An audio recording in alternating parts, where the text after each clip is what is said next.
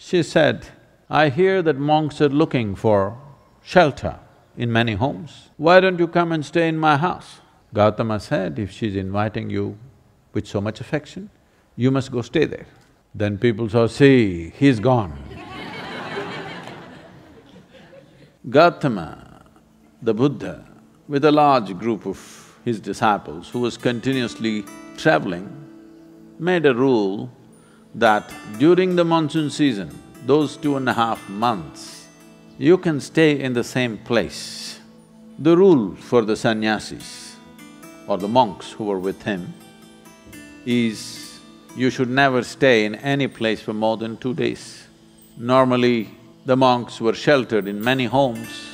So this rule he passed, more than two nights you don't stay in one house because it will be too much of a burden for the host.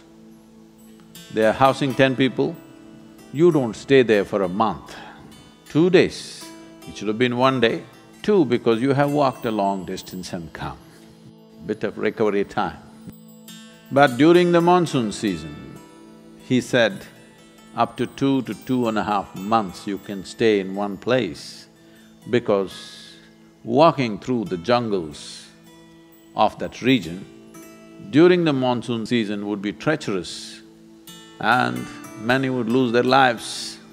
So this is a time like that, they stayed in a large town and they were spread across in many homes.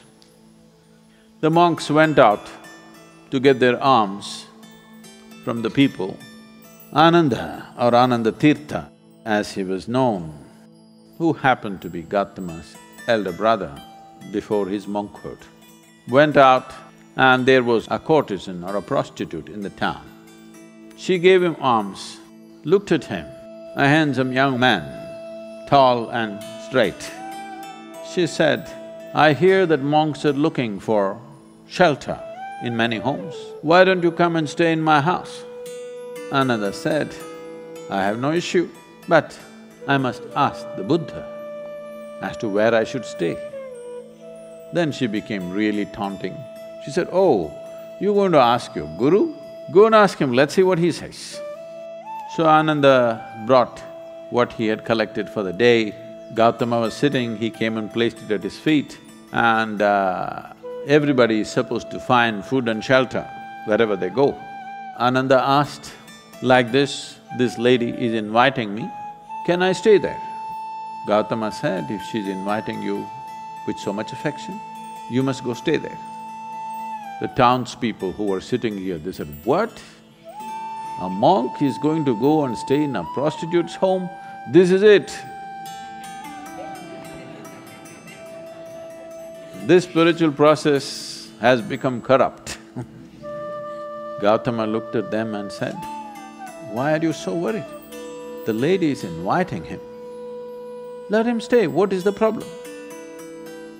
They all started getting up and started shouting. He said, wait, I am on this path because I see this is the most powerful way to live. Now you're telling me, her ways are more powerful than my ways.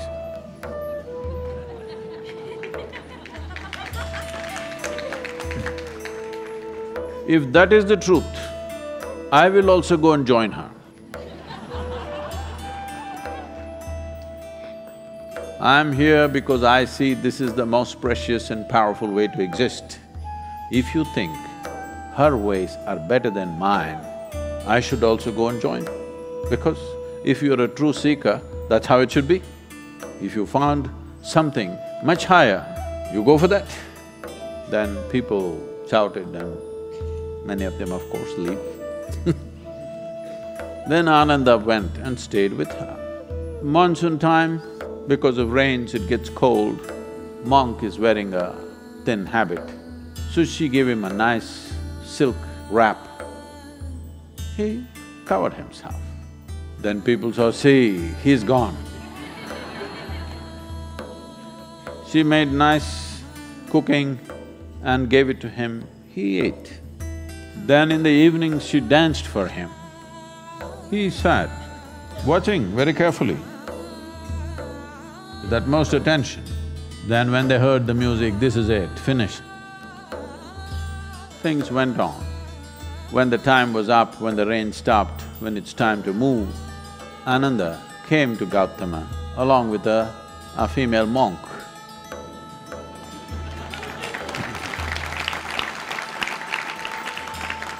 So, the power of being on the path of truth has been there, but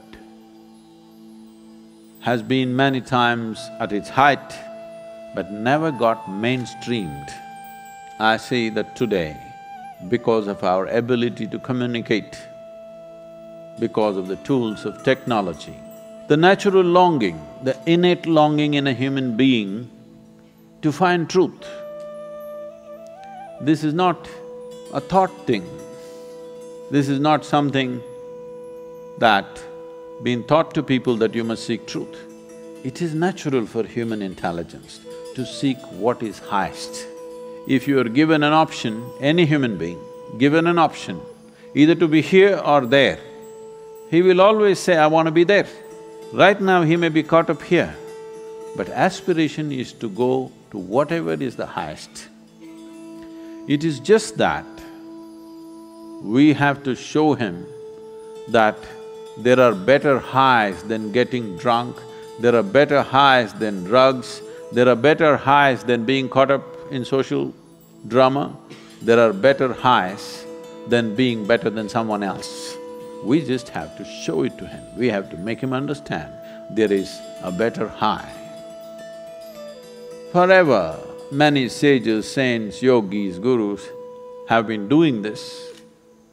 But as I said, they were gentle people. They didn't have a voice like me.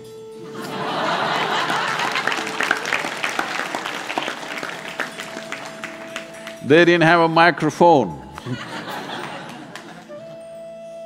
they didn't have tools with which they could speak to somebody there. They could only speak to people here. In spite of that, they did tremendous things. For their times, many of them did tremendous things out of sheer grace and energy. Millions of people around them, they transformed. Millions of people around them, they put them on the path of truth, on the power of truth. But a time has come where our ability to communicate is such we can make truth slip through every door. We can make truth knock on everybody's minds and hearts. Never before this was possible. Technology has rendered us to this place. I feel this is the best age ever to make truth mainstream, to make… to be truthful, to aspire for truth, to seek truth, the main force on the planet, because we have tools that nobody ever had.